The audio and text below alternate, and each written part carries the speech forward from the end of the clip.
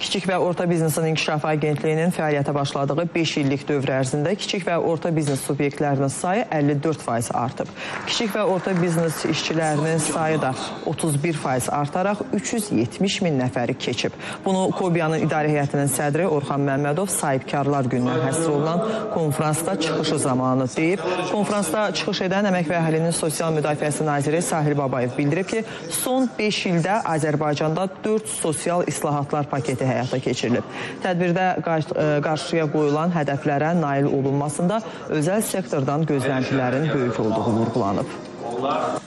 Xüsusilə xarici şirkətlər müraciət edir və bu da ə, rəğbət doğuran bir haldır və ə, əsasən ə, kənd təsərrüfatı, ə, emal sənayesi ə, bu sahələrdə, turizm sahəsində ə, bu sahələrdə daha çox sahibkarlar ə, maraq göstərir və bildiyiniz kimi orada ə, xüsusilə Ağdamda ə, sənaye parkı açılıb və məhz ə, orada ə, sahibkarlar maraq göstərir ki, orada çünki xüsusi imtiyazlar var ki, orada iştirak eləsinlər və öz yatırımlarını, investisiyalarını eləsinlər. Azərbaycanda sahibkarlıq böyük bir mütəşəkkil yol keçibdir və bu gün Azərbaycanda ümumi daxili məhsulun 83%-i məhz e, özəl sektorun payına düşür, məşğulluğun isə 78% özəl sektorun payına düşür.